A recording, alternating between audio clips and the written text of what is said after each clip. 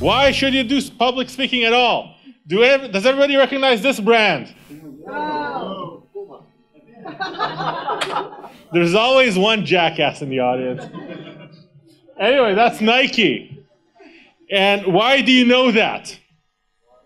Because you haven't been living under a rock for the past 30 years. I would just like to let you know that the Kiev audience was even better than you. anyway, so you might associate their brand with Michael Jordan or LeBron James or some other great athlete or other person who does good things. Which leads me to my first point. This is your brand. Your brand is what people associate with you and your name. And you want those things to be good. And one way to do that is to do public speaking about things that you know. Point number two public speaking makes you better at regular speaking. It might be useful in things like life. It boosts your confidence. Look how confident she, confident she is. It makes you look important. Then people have to listen to you. Important. Listen to me, Dag Nabbit. Anyway. So, now that I've convinced you that you should do public speaking, why Ignite? So, think big, start small. It's not only clip art that I stole from the internet. You're gambling. You don't know if you're going to be good at this yet. You might go broke. You might hit the jackpot. We don't know. And because of that, we go for the nickel slots, not the $10,000 a hand blackjack table.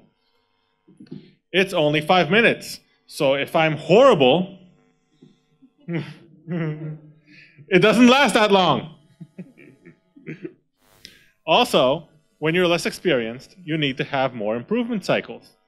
So when you do two, a 20 minute talk, it takes a long time to rehearse that. And you have to do so many more of those. It's very hard. This one, you can get 12 of these in an hour. Dead serious, but don't do that.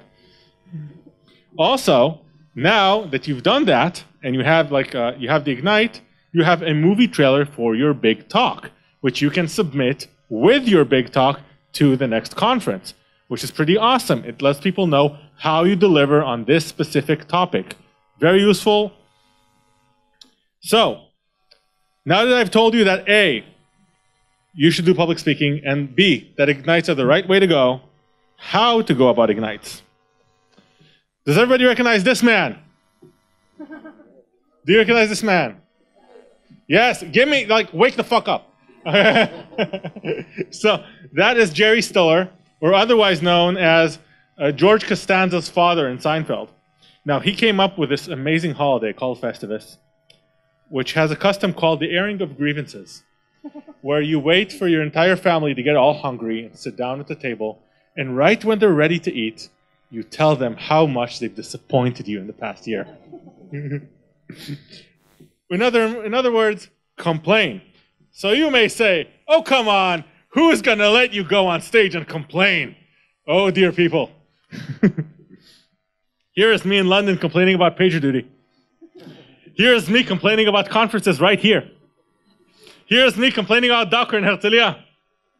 I'm complaining to you right now. then you make slides. If you recognize this, that's sign number two that you are old. Sign number three that you're old, you recognize who these guys are. These players were notorious for never practicing anything. They also don't have championship rings. Might be related. Then you do Kaizen. But we don't have time to talk about that. It's only five minutes. So make slides, practice and improve, profit. Thank you. Wait, wait, wait, wait, wait.